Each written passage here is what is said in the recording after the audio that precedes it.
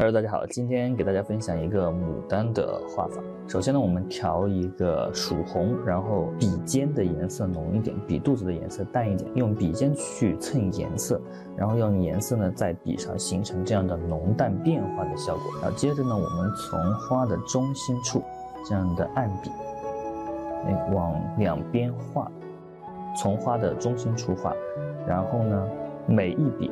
画完每一笔之后，我们再添加一下颜色，同样要画出这种弧形来。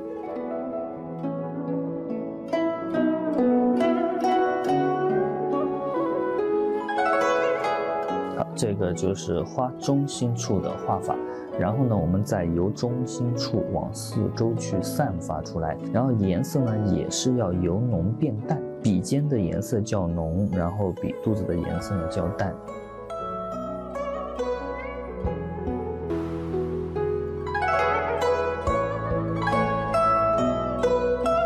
这样去按出来，按出花瓣来。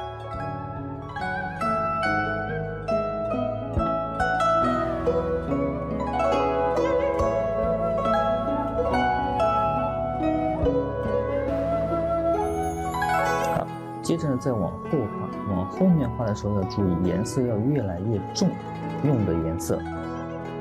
画牡丹花瓣的时候呢，就一定不能画成对称。画牡丹花的时候，花的形状呢要奇怪一些，千奇百怪，不能把它画对称了。然后越往后呢，颜色会稍微重一点，我们可以稍加一点浓一点的曙红，蘸一点浓一点的。但同样也是要有浓淡的变化、深浅的变化，也是笔尖颜色稍微重一些，然后笔肚子上的颜色呢稍微淡一点点。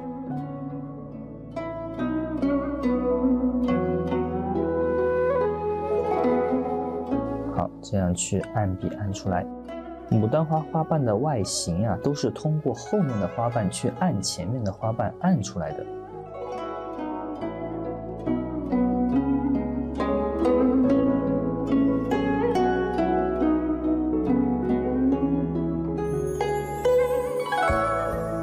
这个时候呢，我们可以稍微等干一点点，等它花瓣七八分干。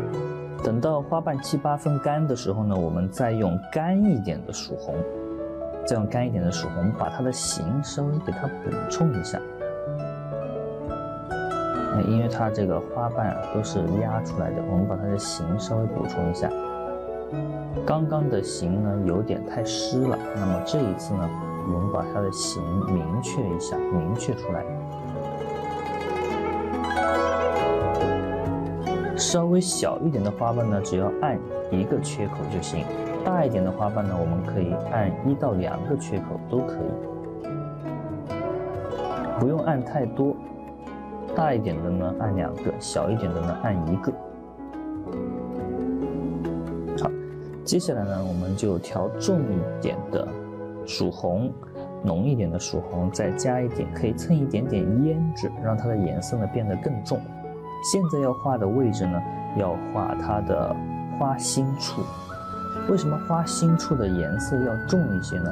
因为花心处等会要用藤黄来画它的花蕊，而藤黄的颜色呢，它是非常的透，所以一定要用重色去衬托。要不然藤黄画出来会显出下面的红色，所以我们一定要用深一点的颜色去衬托它。画这个花心处的时候，也要注意一下花瓣的形，不能把刚刚画好的花瓣的形给画毁了。也是要顺着形画，小心一点，尤其是画在这种细节的地方。要用笔尖小心翼翼地把它给按出来。好，画到这之后呢，这个时候我们用藤黄加一点白来画。为什么要加白？也是跟藤黄的这个特性有关。因为藤黄它很透，加一点白呢，让它这个藤黄啊稍微的颜色厚重一些，它的附着力强一些。好，等花心处呢稍干一些的时候呢，我们就可以点出花蕊。点花蕊的时候也要注意，点成一头大一头小。点成这样的小蝌蚪的形状，由中间往外散，或者是由外往里收。哎，像这种由外往里、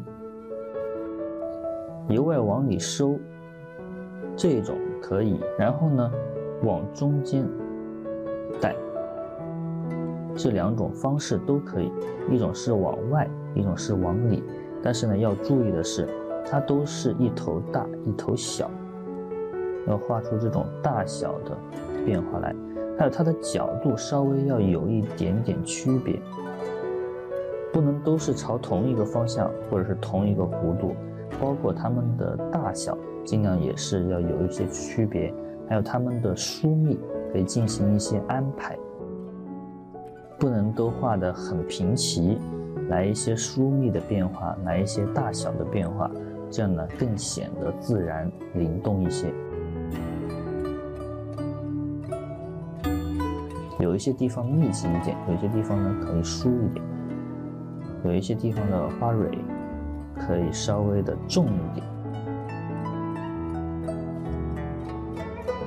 那么呢，我们整幅牡丹就画完了。然后大家如果喜欢的话，可以点赞收藏一下，避免找不到咱们的账号。好的，那这个牡丹就完成了。